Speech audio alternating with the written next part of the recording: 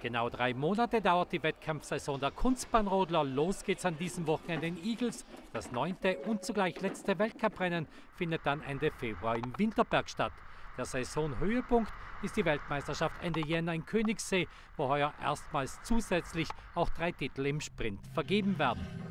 Die italienische Nationalmannschaft zählt natürlich wieder zu den Favoriten. Sie besteht ja durchwegs aus Südtirolern. Insgesamt zwölf werden heuer im Weltcup starten. Zwei Damen, vier Männer im Einsitzer und drei Doppel.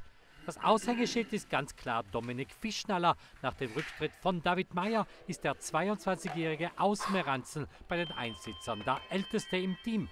Im Vorjahr hatte Fischnaller einen unglaublichen Saisonstart, wurde den Eagles zweimal Zweiter, ist dann aber in der Weihnachtspause erkrankt und hat sich nie mehr so richtig erholt. Heuer will er wieder voll angreifen. Äh, nein, war sicher in Weltcups, in die Weltcups Podest zu machen und bei der WM war logisch das Highlight da Podest zu machen.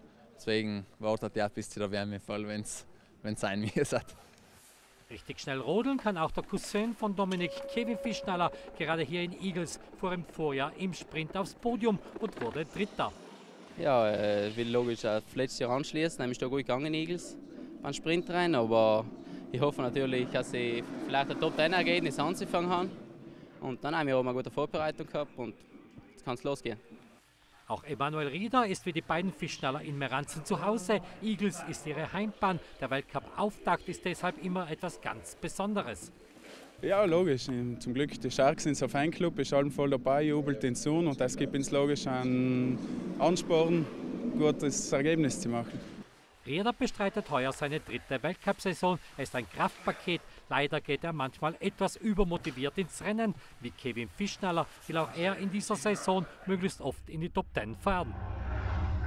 Der jüngste bei den Einsitzern ist der 19-jährige Theo Gruber aus Philanders. Mit 1,91 Meter ist er aber gleichzeitig auch der größte. Auch er kommt, wie so viele Kunstbahnrodler, von der Naturbahn.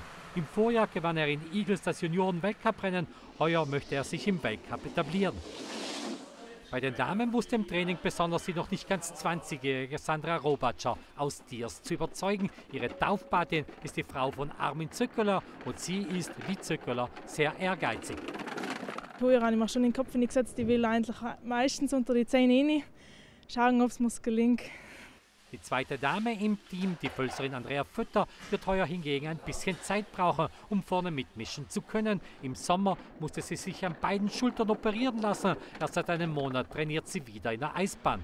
Die Verletzung ist gut, die haben alles super ausgehalten und es ist schon, äh, mir fehlt noch etwas, weiß ich, aber äh, ich glaube, ich kann das äh, sicher bis Ende der Saison aufholen auf die Weltmeisterschaft und ähm, ja, es braucht seine Zeit und die Zeit kriege ich von den Trainern auch. Sie, haben, sie stressen mich nicht, sie sagen, äh, schau, wie es dir geht und es ist die Hauptsache, dass die Gesundheit passt und nein, also ich fühle mich gut.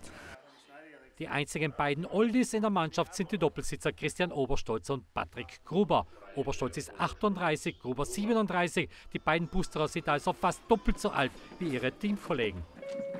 Mich im Vier, wenn man alle mit den Jungs zusammen ist, nur bleibt man selber wie ein Jung. und deswegen sehe ich da kein Problem. Dass sie aber noch nicht ganz zum alten Eisen zählen, haben sie im Vorjahr bewiesen, als sie in Sigulda als einzige einheimische Rodler eine WM-Medaille gewannen. Seit 18 Jahren fahren sie im Weltcup. Diese Jahre haben natürlich ihre Spuren hinterlassen.